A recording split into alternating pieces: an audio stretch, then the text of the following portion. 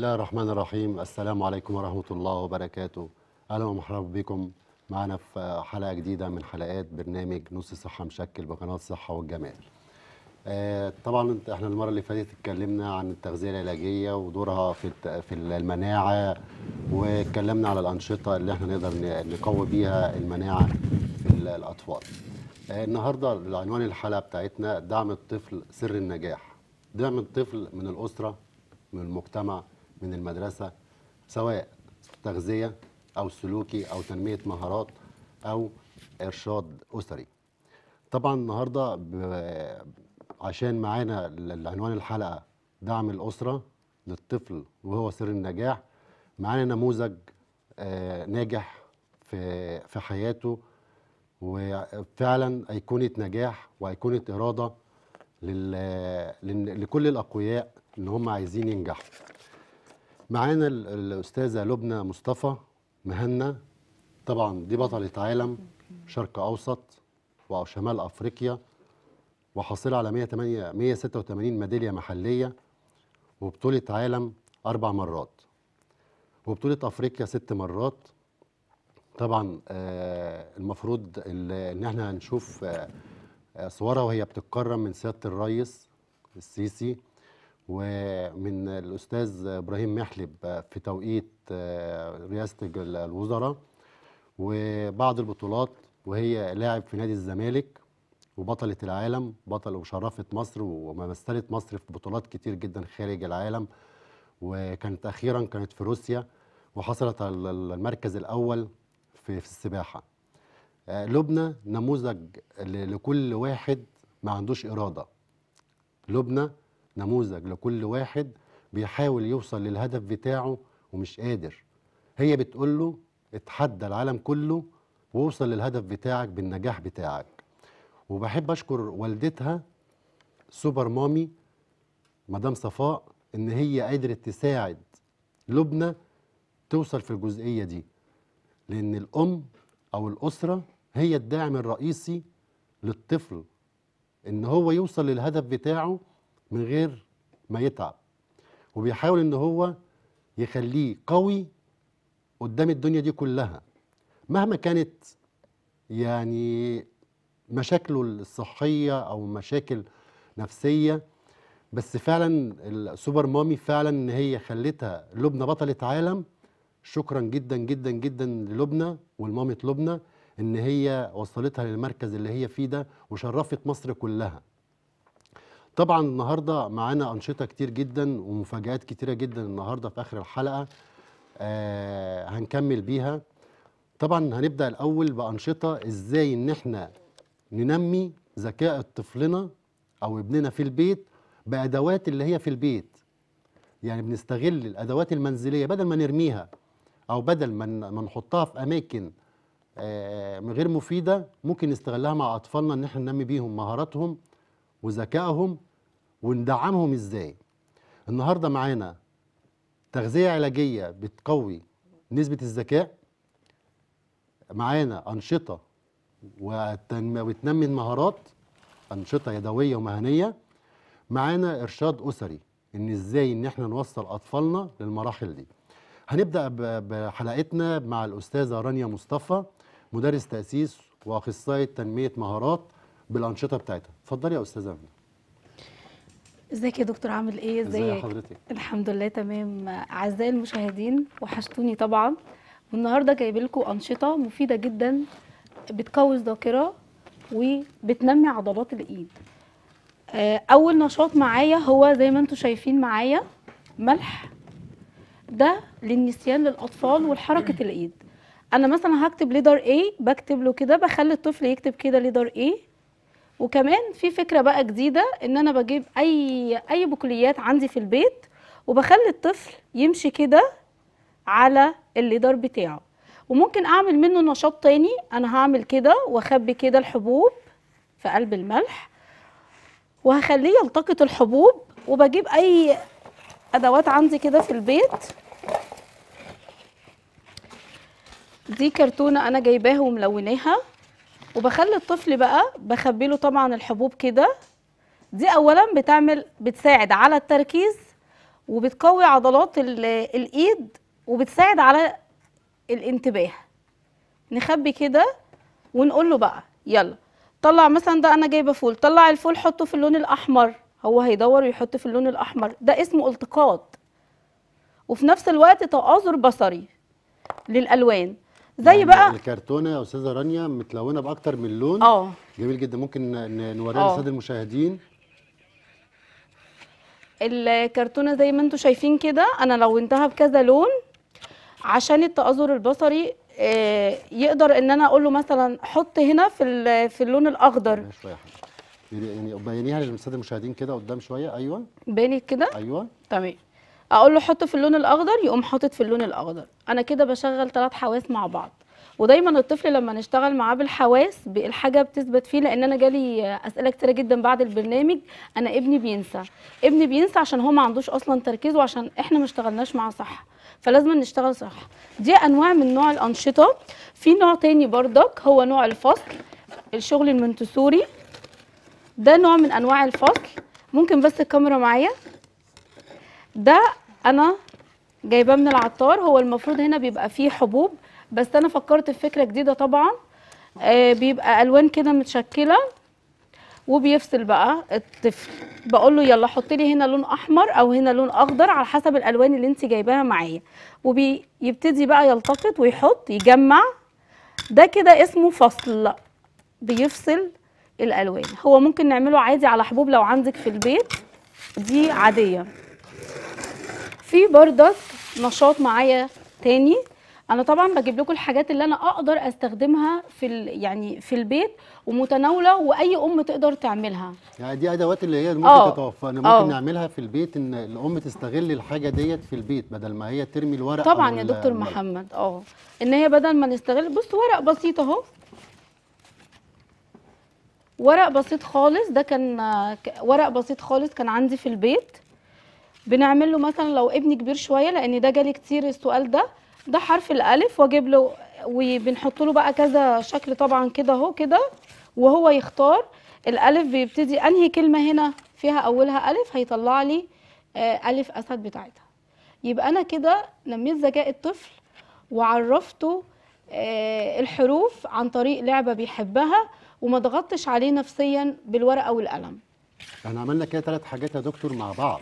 آه. إن إحنا آه يعني نمينا عنده ال- القراءة وال- والكتابة. طبعا. وفي نفس الوقت ال- ال- التواصل البصري. طبعا. وان هو يقدر يميز ما بين ال- الحروف ويطلع الحرف اللي هو الأساسي تمام. يا دكتور محمد. وهو ده هدف شغل تنمية المهارات وشغل التأسيس بتنمية المهارات وده أصلا شغلي إن أنا بعلم الأولاد بوسائل تعليمية وترفيهية إن هم يقدروا يحبوها. معايا برضك نشاط تاني جديد أنا اللي يعني أنا يعني افتكرت يعني افتكرته. آه، ده ورقة اهو عادي خالص وبحط فيها ال- الأرقام. تمام؟ وادي النقط بتاعتها. آه، سواء الأم أو المعلمة تقول له بقى مثلا رقم اتنين فين هنا؟ هيقول لها اهو. لو جبنا مثلا مشبك من البيت عندي خالص مشبك خالص من البيت فين رقم اتنين يا حبيبي؟ وهو يمسك المشبك. فتحة المشبك دي أنا بكو بقوي عضلة ايديه. فتحة المشبك دي تقوية لعضلة ايديه وأحط هنا عند الدايرتين الاتنين. يبقى أنا كده ربطت ما بين الرقم بالأشكال بالالتقاط. كمان بقى ما بالك إن الطفل لسه أصلا هو ما مسكش قلم أو عضلات إيديه ضعيفة ويقوم فاتح المشبك وحاطط في في في النمبرز. وكمان في حاجة أنا عملتها. ده ممكن دي كمان دي من ضمن المبادرة بقى يا دكتور بتاعت آه. أول مسكه قلم إن إحنا إزاي برضو نعرف أولادنا إزاي نمسك القلم في أول مرة. أيوه فعلا دي حقيقة. إحنا بنستخدم المشابك ديت آه للالتقاط. مرضك ممكن يمسك بيها كده يا دكتور أهو ويحط هنا. امم كذا كذا حاجة. برضك أنا ال- الورقة دي إحنا طبعا مش مش خلاص مش هي وقفت على النمبرز وكده لأ. أنا رحت قلبتها وعملت الإيه؟ ال- ال- الأبجدية. وبرضك هنعمل كده. يلا. ألف همزة يقوم حاطط المشبك كده. بس حطيتيها عند الألف كده عند البيت عند البيت طب أنا مش شايفة عشان الكاميرا. أدي الألف أهو. دي وسيلة تعليمية. جميلة جدا ومن البيت ومش مكلفة لأن في والله يعني إحنا كنا قاعدة كده مع دكتور بيقول لي أنا مش عارفه أعمل إيه مع أطفالي. أنا بنقول نعمل أهو مع أطفالنا آه، حاجة سهلة وبسيطة. قلنا الفصل وقلنا طريقة الالتقاط. في بردك نشاط تاني اللي أنا اتكلمت عليه طبعا ما نسيتش البنات ما نسيتش البنات حبايب قلبي. النشاط ده بيحبوه جدا إن هي تقعد عايزة تحط المونيكير. بنحط كده اهو البنوتة الجميلة. ده بيقوي عضلات الايد والتركيز والانتباه ان هي بتعمل كده. وفي نفس الوقت بقى إيه استغلت وقتها في نشاط مفيد. ده كده. ده شغل بردك آه، للبنات أو الاولاد عادي هم بيحبوا يشتغلوا بالحاجات دي جدا على فكرة. في بقى اللي أنا قلت عليه يا دكتور محمد المرة اللي فاتت ان أنا أجيب المكرونة اهو من البيت عندي. وبجيب أي حبل أهو. وبدخل كده كده. تمام. دي كده طريقة بردك تانية. ممكن نعمل طريقة تانية يا دكتور إن إحنا آه. نجيب ال- ال- المكرونة الطويلة وفي مكرونة تانية القصيرة أهي. فنعمل واحدة وواحدة. أهي. إحنا جايبينها أهي فعلا بالفعل. المكرونة أهي. نوعين. اهمت وبنعملهم بردك ممكن نعملهم بقى فصل زي ما قلنا عليه. دي بردك آه، يعني طريقة جديدة إن أنا بجيب نوعين من المكرونة وهو بردك بيفصلهم عن بعض يحط الأشكال مع بعض. في بردك نشاط تاني أنا حبيت أوريكم كل الأنشطة. طبعا هي دي مش كل الأنشطة على فكرة هي في أنشطة كتيرة جدا جدا جدا بس أنا إحنا لسه معانا حلقات يا دكتور آه. كتير إن شاء الله. إن شاء الله. دي بردك لما ابني يعمل كده بالصلصال هو أنا بمرن إيديه وبقوي عضلات إيديه أهي صلصال عادي أهو وبجيب الشاليمو كده.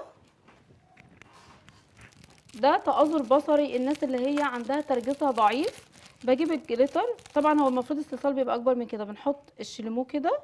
دي بردك بقوي حركة إيديه أهو وبنرش عليها الجليتر الحاجات دي متواجدة في في في المكتبات عادية جدا. أي طفل يقدر يعملها يبقى أنا كده تناول ال- الجميع آه. يعني مش حاجة مش غالية ولا حاجة مكلفة ده حاجات بسيطة جدا وممكن نشتغل بيها قوي جدا يعني أنا هدفي من الأنشطة ديت آه، حاجات رخيصة في متناول ال- الإيد آه، الأم تقدر تعملها في في البيت لو معانا وقت يا دكتور في معايا آه، كده. مفيش ما لا معانا. اتفضلي طبعا دي أنا كرتونه عادية جايباها وأنا مخرماها بس عشان وقت البرنامج وبندخل بقى كده. دي اللي إحنا اتكلمنا عليها المرة اللي فاتت يا آه، دكتور على هي دي اللي اتكلمنا عليها المبادرة اللي فاتت. والجزئية دي اللي إحنا قلنا عكس عكاس أو على حسب. عكس عكاس أو حسب. آه دي على فكرة من تنمية المهارات آه لصعوبات التعلم آه وتركيز. وكمان أنا بعلم ابني إزاي يقدر يربط آه رباط ال- الحذاء بتاعه. ده مهم جدا ال- النشاط دوت. آه في بردك إن هو بجيب ال letter أو أي بقى الناس اللي كانت بتسأل على النسيان أو ال number أنا جايباه أهو. وابني بقى يا إما يمشي بالقلم كده يا دكتور محمد في curve يا إما يخرم كده بال- بالقلم أو بالصلصال يمشي على الشكل كده ونحطه كده يا دكتور بالإيه؟ بالصلصال نوري للساده المشاهدين. آه حاضر بالصلصال كده. بنجيب الليدر وبنحط بال بالصلصال. وممكن نعملها بألوان مختلفة كمان يعني آه، طبعاً، ما هي بقى بلون معين. الصلصال بقى فيه أنواع ألوان كتيرة وأنواع كتيرة ينزل براحته بقى يحط اللون اللي هو الشكل. وممكن كمان ولية الأمر أو المعلمة تقول له يلا اعمل لي letter A باللون ال orange أنا كده بعرفه بردك الألوان. يعني أنا بعلمه الحرف وبعلمه الألوان في نفس الوقت. طبعا عندي أنشطة كتيرة بردك الشلمو ديت. الشلمو دي ممكن بردك دي رخيصة جدا عند أي محل يعني ويعمل تصنيف بردك للإيه؟ للألوان. أهي ال orange مع بعض ال pink مع بعض الموف مع بعض. أنا كده صنفت. وممكن بقى أجيب كوبايتين مثلا كنت جايباهم مش عارفة راحوا فين. نجيب كوبايتين ونعزل كل إيه كل لون مع بعض في الكوباية. في بردك النشاط دوت مهم جدا. على فكرة ده بيتعمل بكور أو بيتعمل ب... ب... بأي حاجة زي دي مثلا بخلي الطفل أنا بركز قوي كده أهو. تمام؟ أنا بجيب للطفل لونين لونين لونين. ايا كان بقى كور إقلمة أي حاجة متناولة في إيدينا. خليه يركز فيه كويس جدا جدا. وبعد كده بجيب نموذج زيه بالظبط.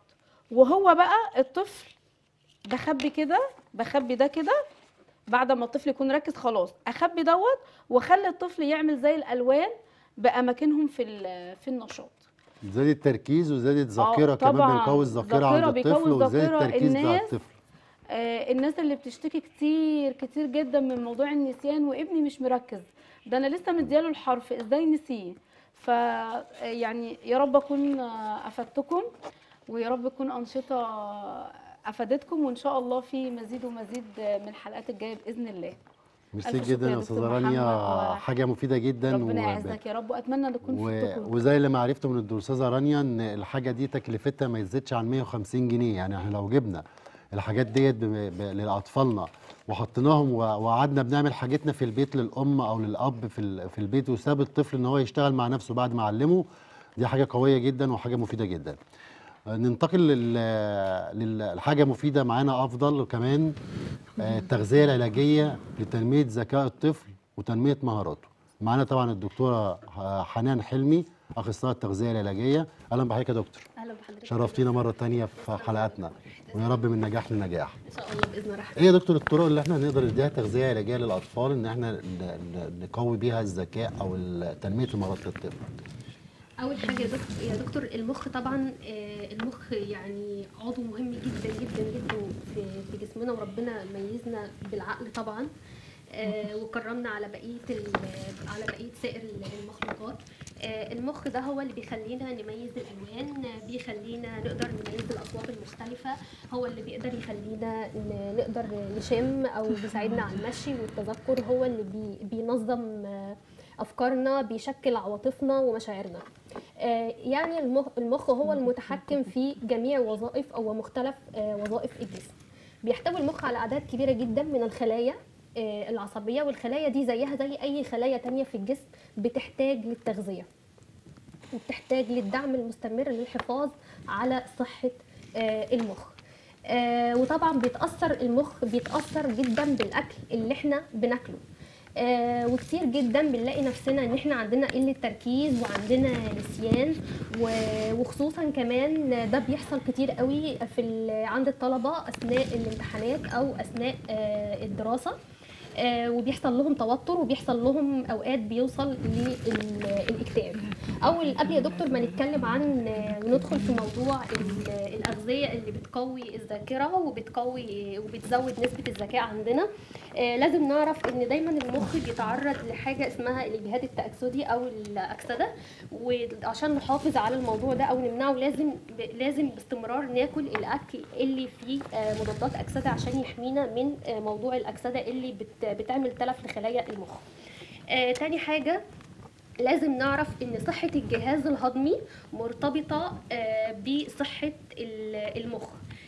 طبعا لا طول ما مفيش عسر هضم أو مفيش أي مشاكل في الجهاز الهضمي ده بيساعد ان إن إحنا نستفاد بقدر أكبر من العناصر الغذائية آه، اللي بنستفاد منها من الأكل الصحي اللي إحنا بناكله وطبعا المخ بيستفاد من العناصر الغذائية ديت سواء الفيتامينات أو الأملاح المعدنية أو البروتينات أو ال- الكربوهيدرات اللي هو محتاجها اللي إحنا عايزين دكتور. حاجات نقول ال... ال... الناس آه، ياكلوا إيه مش عايزين كلام علمي مع احترامي لحضرتك ان إحنا إحنا بنكلم أولياء أمور في البيت تمام مش. بنوجه كلامنا. لحد. التقاطب حضرتك دلوقتي صحة جهازنا الهضمي لو حد طفل عنده مشاكل في الهضم أو عنده سوء هضم طبعا هو مش هيقدر يستفاد بال... بال... بالأكل اللي إحنا بناكله أكيد. وبالتالي مش هيستفاد بالعناصر الغذائية اللي بناكلها أو اللي هي داخلة في ال... في الأكل فطبعا دي حاجة مهمة جدا جدا لازم كل أم تخلي بالها وتخلي بالها ان إن طفلها ما بيشتكيش أو ما بيتعرضش لأي مشاكل من مشاكل الجهاز الهضمي. آه، طبعا آه، ال- الأطعمة أو الأكل اللي بيزود نسبة التركيز وال- والذكاء يا دكتور عندنا أيوة. كتير قوي. آه، أول حاجة ال ال الكربوهيدرات المخ طبعا بيتغذى على الجلوكوز. آه، وبياخد بي آه، طبعا يفضل إن إحنا ناخد الكربوهيدرات من مصادر معقدة زي الحبوب آه، زي الخضروات زي البقوليات زي الفاكهة. طبعا الخبز ال- الخبز الأسمر. طبعا بيحتاج للدهون. المخ بيتكون نسبة كبيرة قوي من الدهون. وطبعا المقصود المقصود بالدهون هنا هي الدهون المفيدة أو الدهون ال- ال- الحميدة اللي إحنا بنحتاجها في أكلنا زي الأوميجا 3 آه، ودي طبعا موجودة في في الأسماك. آه، والصراحة يا دكتور إن طبعا هو مش آه، مش مش حتة إن إحنا نزود ذكاء الطفل أو إن إحنا نقوي تركيزه. آه، ده بيعتمد من إن إحنا بداية ما نبدأ نأكله. لا ده طبعا ده دوت ليه دور كبير أصلا كمان أثناء الحمل. الأم وهي حامل وأكلها والأكل الصحي اللي هي بتاكله ده ليه دور كبير جدا جدا جدا. في آه، في نسبة ذكاء الطفل فيما بعد. يعني في أثناء الحمل الأم في الفترة اللي هي بتبقى فيها حمل التغذية العلاجية بالنسبة لها بتفيد الطفل في. تنميه الذكاء بتاعه طبعا. في بعد عملوا الولاده دراسة لقيوا إن الأمهات اللي بتاكل اللي بتاكل أسماك آه، بنسبة آه، مرتين في الأسبوع على الأقل الأطفال ال- الأطفال اللي مامتهم كانت بتاكل فيهم نسبة أسماك عالية بعد كده قاسوا نسبة ال- الذكاء عندهم لقيوا ان عندهم نسبة الذكاء أعلى بكتير من الأمهات اللي ما كانتش بتاخد أوميجا 3 أو بتاكل أسماك. فطبعا آه، بتبتدي صحة المخ للطفل من أثناء وهو لسه جنين داخل بطن أمه. جميل جدا. آه، طبعا الفول السوداني مهم جدا. برضو ال ال عين الجمل مهم جدا جدا جدا آه، للمخ لأن برضو فيه دهون الأوميجا 3 وفيتامين آه، وفيتامين اي عندنا البيض آه، اللي طبعا بروتين هام جدا وفي الهام جدا وال- والكولين بيحتوي على الكولين وده هام جدا للمخ. آه، طبعا الخضروات آه، زي السبانخ آه، مهمة جدا. آه، عندنا الفاكهة زي التو- آه، التوت والعنب آه، والتفاح والفراولة. عندنا طبعا مهم جدا جدا الحديد. آه، الحديد مهم جدا للمخ وعندنا أطعمة كتير جدا آه، فيها حديد أو غنية بالحديد. عندنا زي العدس الكبدة صفار البيض. آه، طبعا إحنا زي ما قلنا الأسماك يا دكتور. آه، الأفوكادو. آه، العسل النحل مهم جدا جدا جدا في نسبة مضادات أكسدة عالية جدا اللي بتزود نسبة الذكاء وبتزود التركيز عند الأطفال. التمر مهم جدا جدا غني بمضادات الأكسدة وغني بالبروتين والكربوهيدرات وده برضو مهم جدا آه، للمخ. وزي يا دكتور آه، ال- اليومين دول بدأت امبارح امتحانات الثانوية الأزهرية وامتحانات امتحان ال- الثانوية العامة كله امتحانات البلد الثانوية كلها. العامة. آه، بدأت امبارح الامتحانات وطبعا الطلبة في الوقت دوت متوترين وخايفين آه، وقلقانين وده طبعا بي- بيساعد ده بي بي بيخليهم ينسوا المعلومات اللي هم ذاكروها. جميل جدا يا دكتور. عايزين فيها عجاله نقول لهم الأغذية اللي هي ياخدوها في التوقيت دوت عشان يقدروا إن هو يركزوا لأبنائنا. طبعا ربنا يوفقهم يا رب العالمين أبناء الثانوية العامة كلهم. العامة جميعا شاء والجميع. الثانوية طبعا جميع الامتحانات آه، أول حاجة إن هم يهتموا بشرب المية يهتموا بشرب المية قوي. آه، يقللوا القهوة والشاي والحاجات اللي فيها كافيين كتير. آه، طبعا يهتموا بوجبة الإفطار ولو حتى على الأقل آه، نص رغيف ب- ب- زي سندوتش جبنة آه، وكوباية عصير. آه، طبعا يقللوا السكريات على قد ما يقدروا. ياكلوا بدلها خضار ياكلوا بدلها فاكهة. آه، يحاولوا إن هم يقللوا ال- التوتر لأن طبعا التوتر هيخليهم آه، هيخلي هيزود إفراز هرمون الكورتيزون عندهم وده طبعا آه، هيساعدهم على النسيان بصورة أكبر. آه، لكن نخليهم دايما آه، بهدوء وهاديين. ده بيخلي ده بيزود آه، هرمون السعادة عندهم وده بيخليهم دايما في حالة استرخاء وبيخليهم آه، بيسترجعوا معلوماتهم آه، بصورة أفضل. وربنا يوفقهم إن شاء الله بإذن الله. ميرسي جدا يا دكتور. ال- ال- ال- المعلومات القيمة الغذائية لأولادنا. وأحب أجود بس في جزئية معلش هخش في تخصصك شوية يا دكتورة حنان. آه، دايما لما حد بيجي في العيادة أو حاجة بنقدر نكتب له إن هو ياخد كوباية لبن يوميا صباحا. كوب زبادي يوميا مساء سمك أو تونة مرة أو مرتين في الأسبوع.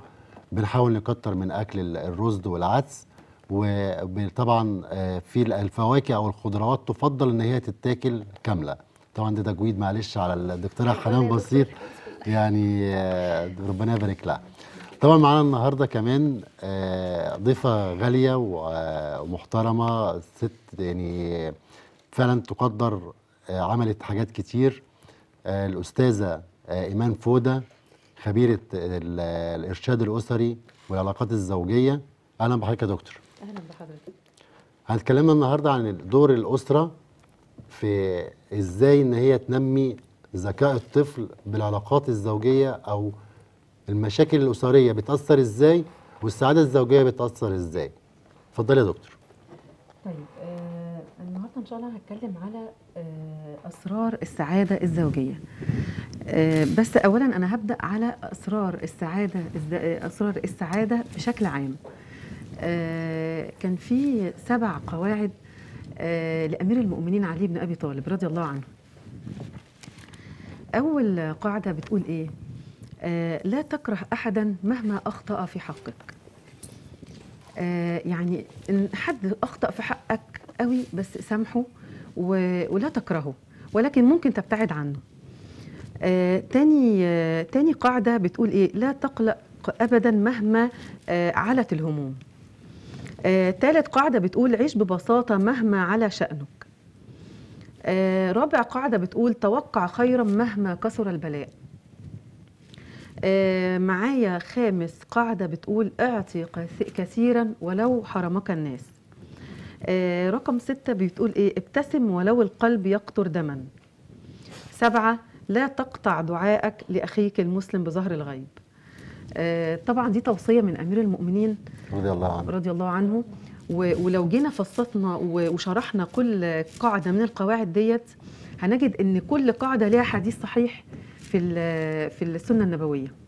صلى الله عليه وسلم. وأنا في اعتقادي برضو يعني حاجة بسيطة كده من من وجهة نظري إن من أبسط أسباب السعادة هو شخص يهتم بك ويسأل عليك كل يوم. آه، الإنسان لما بيحس إن حد آه، آه، آه، بيسأل عليه يعني تخيل الانسان لو مريض تخيل إن 60% من مرضه ده نفسي. آه، لو حد سأل عليه وراح له وراح يعني سبحان الله الرسول الحبيب صلى الله عليه وسلم صلى الله عليه وسلم. آه، يعني حث على زيارة المريض وثوابها آه، كبير جدا زيارة المريض. الملائكة بتدعو بتدعو لك وبتاخد أجر و- وسبحان الله ليها أجر كبير جدا. آه، ف يعني سبحان الله إحنا آه، ربنا خلقنا إن إحنا بنكمل بعض في الحياة ديت. نتكلم بقى عن آه، أسرار السعادة الزوجية بالنسبة للزوج والزوجة. أول حاجة أنا هبدأ بيها آه، هو أنا هخلي فيها حتة مشوقه شوية إن شاء الله لو لينا لقاء آه تاني. إن شاء الله بإذن الله. بإذن الله. آه هقول الأول ست عوامل لهدم البيت. ست عوامل منهم ثلاثة خاصة بالرجل. ورقة وقلم بقى يا جماعة الساده وتلاتة المشاهدين ورقة خاصة وقلم. ونكتب الكلام دوت بقى إيه، نسجله ونحط ورقة إيه كده قدام الباب. ثلاث عوامل منهم خاصة بالرجل وثلاث عوامل خاصة للمرأة. وأنا هكمل العوامل بإذن الله آه، في لقاء آخر إن شاء الله. آه، ولكن أنا بتكلم آه، أول حاجة الثلاث عوامل الخاصة بالرجل. أول حاجة سوء الظن آه، وتحليل المواقف خطأ. آه، وممكن كمان يعني حلل المواقف وطلع كمان نتيجة خطأ ومنها بيصدر منه أسلوب معاملة خطأ لزوجته. بيبتدي إن هو شايل جواه ومش قادر يخرج. ده ده سببه إيه؟ إن انعدام الحوار بينهم. لو في حوار بينهم كان يقول لها وانت كان قصدك بالفعل ده كذا كذا؟ تقول له لا. فيبتدي إن يفضي أول بأول آه، تبتدي الحياة تبتدي فيها نوع من ال- ال- الهدوء والمودة والرحمة اللي ربنا وصى بيها. آه، يعني سبحان الله أنا كنت عاملة مبادرة آه، بعنوان الصلح خير. فجات لي واحدة من اسكندرية اتصلت بيا كنت أنا عاملة مبادرة يعني عرضتها في مؤتمر هناك في اسكندرية. واحدة اتصلت بيا قالت لي أنا لما عفش البيت وأنا واقفة على الطلاق وبكرة هشيل العفش. اتكلمت معاها قلت لها أنا جاية لك. سافرت من القاهرة لاسكندرية. دخلت لقيت المنظر مسيء جدا. فسبحان الله آه، اتكلمت معاها. الأول سمعت منها ما اديتهاش أي رد. قلت لها أنا لازم أسمع من زوجك. قعدت مع زوجها لوحده سمعت منه. بعد كده واجهتهم هما الاثنين ببعض. اكتشفت حاجة خطيرة جدا. اكتشفت إن إيه بينهم انعدام الحوار. بينهم. آه، مفيش كلام أول بأول مفيش فضفضة. هو ده سبب اللي وصل للبيت للانهيار. فالنقطة دي أنا وضحتها لهم بفضل الله بقى لهم دلوقتي حوالي سبع شهور بفضل الله زي الفل. الحمد لله الحمد. لله. تاني قاعدة يا دكتور. آه، تاني قا... آه، تاني قاعدة آه، اللهم صل على سيدنا محمد صلى الله عليه المعاملة السيئة بالضرب والسب والشتم. نعم. أنا في عجالة عشان وقت البرنامج كل حاجة طبعا عايزة يعني عايزة مجلدات. عايزة آه. عايزة الحلقات آه. لوحديها تالت حاجة طبعا الخيانة وإهمال الزوجة عاطفيا. وحط تحتها مليون خط. أكيد. طيب خلصنا ال- التلات عوامل الخاصة بالرجل. نتكلم بقى على التلات عوامل الخاصة بالمرأة. طبعا الستات كلهم هيزعلوا مني دلوقتي. في طبعا عندنا أول حاجة العناد. العناد الست ساعات بتعاند مع زوجها. وتنفذ اللي في دماغها. آه، طيب تاني حاجة العصبية. آه، كل يعني مثلا كل فعل وليه رد فعل ولكن ساعات هي بيبقى من ضغط الأولاد وشغل البيت ومسؤوليات عليها بتدي رد فعل لزوجها أقوى من من المطلوب أو أقوى من اللي هو اللي يجب يكون. فبيحصل بينهم الاثنين مشادة جامدة قوي فهو ده آه، العصبية. لازم إن هي تهدي من عصبيتها شوية وتعرف سببها. إيه ممكن يكون سببها عدم يعني عدم إن آه، الزوج مثلا ما بيلتفتش ليها فبتبتدي هي تعلي تبتدي تعلي صوتها وتتعصب. يعني لو الزوج التفت لطلبها وأنفذه آه، يعني أول بأول لكن في تراكمات بتحصل فبتبتدي تنفجر. آه. تالت آه، تالت عامل معانا وهو الصوت المرتفع. في واحدة ما بتعرفش توطي صوتها. هو صوتها واطي هو صوتها عالي. آه. تقولي أنا مستمعة نفسي. الرجالة طبعا بتزعل جدا الموضوع عليه هو طبعا هو دي دي أيوة. كارثة من الكوارث أيوة إن هي صوتها عالي على طول. في البيوت خدت- المصرية كلها الصوت العالي للزوج أو للزوجة الاثنين للأسف الشديد ده بيعلي وده بيعلي كمزايدة يعني. اتفضلي يا دكتور. بتبقى ضغوط نفسية بس مش أكتر. آه إن شاء الله هنكمل العوامل الهدم دي بإذن الله في لقاء آخر وبعدين هنتكلم دلوقتي على آه، أسباب السعادة الزوجية. أنا معايا تسع أسباب إن شاء الله هقول منهم أربعة عشان وقت البرنامج وهن إحنا عايزين حاجة يا دكتور. أفضل حاجة إن هي ال- الأسرة تعملها كزوج وزوجة عشان اسعاد أولادهم. يعني أنا عاملين ال- الحلقة آه، سر النجا- ال- ال- النجاح عشان ال- الأطفال. أنا جاية دعم لسه. أنا الطفل. أنا محضرة حاجة برضو آه، ل- اتفضلي. للطفل إن شاء الله. هو جاي عشان ما تأخريش علينا المفاجاه بتاعتك. طيب ماشي. آه، أول حاجة في الأسرار ال- الزوجيه آه، الحل من الداخل رقم واحد حل مشاكل البيت من داخل البيت وعدم إفشاء الأسرار لأن أهم ما في العلاقات الزوجية ما بداخلها وهي نقطة انطلاق الحياة في صناعة الحياة الزوجية واكتساب السعادة واحتواء المشكلات وإذابة جليد الزمن. آه، طبعا الكلام مفهوم. إن إحنا آه، الزوج والزوجة يحلوا مشاكلهم بينهم وبين بعضهم ما يدخلوش حد بينهم. إلا إذا آه، استحالت ال- الت- استحال التفاهم وحصل شقاق كبير اذا كل واحد بيجيب حكم من أهله وحكم من أهلها ويبتدوا إن هم يتكلموا ويسمعوا بعض ويحلوا المشكلة. طيب عندي رقم اتنين في أسباب السعادة وهو حذف الماضي. حذف الماضي بمعنى إيه؟ لا يتخذ الزوج آه، والزوجة موقف من الآخر نتيجة لخبرات سابقة. يعني مثلا كل واحد عنده خبرات في الحياة جرب مرة أو اتنين أو آه، يعني ارتبط كذا مرة فبيبتدي يكون فكرة. أول ما بيدخل مع زوج زوجته في ش- في نقاش أو جدال بيفتكر القديم الوحش يفتكر كله ال ال. آه يفتكر ال ال- العوامل اللي هي قابلته قبل كده والخبرات السابقة. من آه للطرفين. إزاي أيوه. فاحنا دلوقتي عايزين نعالج هنعمل إيه بقى؟ نقطة ومن أول السطر. نبدأ من الصفر زي ما بيقولوا. يعني ننسى الماضي حذف الماضي زي ما بيقولوا كده. طبعا اللي هينفذ الحاجات دي آه، الأذكياء شوية. إحنا كلنا أذكياء الحمد لله. آه، فعايزين نتعامل بذكاء شوية عشان حياتنا يعني نعيش ما قدر ربنا إن إحنا نعيش بس بصحة جيدة بصحة نفسية كويسة لينا ولأولادنا واللي حوالينا. وأنا معاكم إن في حالات بيستحال العشرة فيها. يعني في حالات أنا ما بتدخل بفضل الله في ال- في الحل بينهم بقول يا جماعة آه، هنا الحالة بتاعتكم دي تحتاج البتر علاجها البتر ان أنتوا تبعدوا. يعني في حالات آه، علاجها إن هم ينفصلوا عن بعض فعلا. وفي حالات لازم نحاول معاها مرة واثنين ويجي منها ويعيشوا سنين. طيب عندنا دلوقتي ثالث بيكون الانفصال ساعات بقى أفضل للابناء يعني لما في حالات زي ما الأستاذة أفادت إن لازم الانفصال أو ال- استحالة العيشة مع مع بعض فإحنا بنحاول إن إحنا نوصل الطرفين إن هم ينفصلوا بطريقة لطيفة وبطريقة محترمة عشان خاطر الأولاد. أكيد ممكن تواصلهم بالشكل اللي هم كانوا فيه ده يعمل كارثه في الآخر. أكيد. بنلاقي قتل بنلاقي عاهة مستديمة بنلاقي مشاكل. طيب رقم ثلاثة هنا نسف القيود. يعني إيه نسف القيود؟ آه، أخطر ما يمكن حدوثه في التعامل بين الزوجين بين الزوجين وهو وضع كل آه، واحد منهم في قالب معين هو شايفه بالطريقة دي. يعني مثلا شايفه إن هو آه، شديد الانفعال جدا. مهما كان آه، كويس وأسلوبه اتغير مرة مع التانية هو برضه هو شايفه بالطريقة دي. طيب أو مثلا آه، الهدوء ال- القاتل. أو مثلا اللامبالاه شايفة جوزها آه، عنده لا مبالاة. ممكن يكون ده في موقف موقفين ثلاثة فتقرر بدأت إن هي تحطه في قالب معين. خلاص ما بي يعني مش قادرة إن هي تشوفه بشكل غير كده. طيب والنصيحة هنا عندنا نعمل إيه؟ نسف القيود وتدميرها لأنها أفتك من أسلحة الدمار الشامل. طيب رقم أربعة رؤية الواقع كما هو.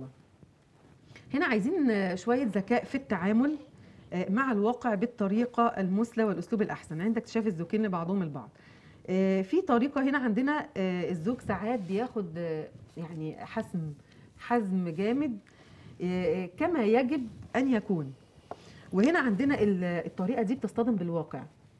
لأن طبعا مش كل حاجة هنفضل نقول مثلا آه، الواجب وال- والمفترض وكان يجب أن يكون كذا. لا لازم يبقى في آه، في في انسيابية في التعامل شوية. وكده يبقى خلصنا الأربع عوامل إن شاء الله ونكمل في لقاء آخر بإذن الله. الله يجزاك فضلك الله يا أستاذة إيمان. آه،. فعلا معلومات يا ريت كل أسرة تاخدها. حيز ليها انها تمشي بيه. ولو تماشت بيه جميع الأسر مش هيبقى فيه حالات طلاق ولا فيه حالات زي في البيوت ولا تعليق أصوات. آه طبعا آه بشكر ال- الأستاذة رانيا مصطفى على ال- الحاجة الجميلة اللي هي عملتها ديت الأنشطة. بس أنا بقول لياسمين ولوجي وملك ورودي ما الأنشطة بتاعت المونيكير اللي عملتها لا الأستاذة- لازم نعملها. الأستاذة لازم رانيا. نعملها. و... وبشكر الدكتورة حنان حلمي على ال- ال- المعلومات الغذائية الجميلة اللي قالتها. تسلم يا دكتور. والأستاذة إيمان بشكرها على المعلومات الأسرية والزوجية اللي هي قالتها إن هي حابة بس. أقول حاجة يا دكتور. محمد. أه بحب أشكر أمي على الهوا وأقول لها أنا بحبك قوي. انتي أكتر حد وقفتي جنبي وساعدتيني وشقيتي يعني شقيتي وتعبتي عشاننا كتير. وانتي السبب في اللي أنا فيه دلوقتي والمكان اللي أنا فيه وأنا بحبك قوي وربنا يخليكي ليا و هنعيط بقى يا حنان رانيا لا كده خلاص. وبهدي طبعا لجوزي لأن هو اللي ساعدني في كل اللي أنا فيه دوت وأنا سعيدة جدا إن أنا معاكم ربنا يحفظها لك يا رب ويحميها. لك ويرزقها الصحة والعافية ويرزق جميع أمهات المسلمين يا رب ال- الصحة والعافية وما يحرمش حد من من أمه ولا حنان الأم. وربنا يرحم أمهاتنا جميعا يا رب العالمين وآبائنا آه، علمونا وربونا تربية صحيحة إن إحنا إزاي نتعامل مع الناس ولا زالوا بنتعلم منهم وهم متوفيين برضه من لسه بنتعلم منهم. آه، في آخر ال- الحلقة طبعا هنختم مع مع الأغنية جميلة من الأستاذة إيمان بس بنجدد المبادرتين بتوع بتوعنا بتوع البرنامج نص صحه مشكل مبادرة أول مسكه قلم الخاصة بالأستاذة آه، رانيا مصطفى وفريق عمل نص صحة مشكل ومبادرة الخير اللي هي آه، مبادرة الخير آه، الخاصة بالجيش شهداء الجيش وشهداء الشرطة وشهداء أطباء محاربي فيروس كورونا أسرهم علاج وكشف وجلسات مجاني بحزب مستقبل وطن ال- بالمطرية تحت قيادة اللواء علي الدمرداش عضو مجلس النواب والأستاذ أحمد صلاح والاستاذه عزه السيد أمينة المرأة. بشكرهم فعلا بجد هم بيعملوا حاجات خدمية في المطرية قوية جدا وربنا يزيدكم يا رب ويعينكم على اللي أنتوا فيه بالرغم من النقد اللي أنتوا بتقابلوه بس الحمد لله رب العالمين أنتوا بتقابلوا النقد بتاعكم بخدمات زيادة. آه اتفضلي يا فندم. بالنسبة للمبادرة بتاعتي أو في مبادرة بتاعت الأستاذة ايمان أنا معايا آه، فريق من أساتذة ال- الجامعة ودكاترة الأزهر بسم الله ما شاء الله في التدخل. قال لي إذا استعصى عليكي آه، آه، أمر أو كده اتصلي بينا يجوا فورا وهم ما شاء الله متطوعين جزاهم الله خير بنضم المبادرة بتاعت ال- ال- الخاصة بالأستاذة إيمان فودة آه، مبادرة الصلح خير. مع مبادرات ال- الخاصة بال- بالبرنامج نص صحة مشكل. الصلح خير بيضم آه، أساتذة وعلماء من الأزهر الشريف وقيادات وشيوخ من بعض الأماكن والج- والقرى والنجوع. آه، هنختم مع أغنية ل- للجيش. آه، ربنا يحفظهم يا رب ويحميهم وي- ويقدرهم على اللي هم فيه داخلين على مرحلة صعبة وإحنا بنأيد أي قرار في الإدارة. شؤون البلاد سواء في الجيش أو في الشرطة أو سياسي إحنا بنأيد الجيش في أي حاجة هو بيت- بيتخذها في أي قرار. هنسمع أغنية آه، من تأليف وغناء وكمان عاملة ليها آه، music بس طبعا مش موجود music هي تغني دلوقتي فهي تأليفها وغناء. اتفضلي يا أستاذة إيمان آه، هو أنا يعني بصراحة أنا بعشق آه، تراب بلدي وبعشق خلينا بنعشق جيش تراب بلدنا. لأن والدي قوات مسلحة وربنا تربية ميري زي ما بيقول. ربنا يحفظك. فانا بفضل الله يعني آه، آه، ألفت أغنية تأليفي وألحاني وغنائي آه، للجيش المصري آه، اسمها اطفالنا في قلوبنا. وبفضل الله أنا بنشد ديني ووطني واجتماعي. بالنسبة لاجتماعي بقى للي عامل مثلا مبادرة أنا بعمل له الأغنية باسمه آه، أو مثلا عنده أكاديمية عايز يعلن عنها أو كده بعمل له آه، بس بدون ايقاع يعني. أنا ب- ب- بنشد من غير إيقاع. طيب ال- الاغنيه بت- بتتكلم عن الجيش المصري. الجيش المصري هو مصنع الرجال. الجيش المصري هو تاريخ مع الأجيال. الجيش المصري هو مصنع الرجال. الجيش المصري هو تاريخ مع الأجيال شهيد ورا شهيد وهو المستفيد شهيد ورا شهيد وهو المستفيد. عالجنة بأحلى عيد تسكن هناك أكيد. أبطالنا في قلوبنا ما هو أصل الجيش حبيبنا. أبطالنا في قلوبنا ما هو أصل الجيش حبيبنا. تتعب وتشيل بلدنا علشان الخير يزيد. نفديك بكل حياتنا بالنصر رافع رايتنا وإيدينا في ايدين ولادنا. نسعى لكل جديد. كله شجاعة ومروة وحماسة وياها قوة كله شجاعة ومروة وحماسة وياها قوة يحميك يا جيش ليا وبدعمي هتبقى سعيد. ربي حميك وحافظك في عيون كل اللي شافكوا ربي حميك وحافظك في عيون كل اللي شافكوا والخير مالي قلوبكوا بشجاعة وصبر حديد.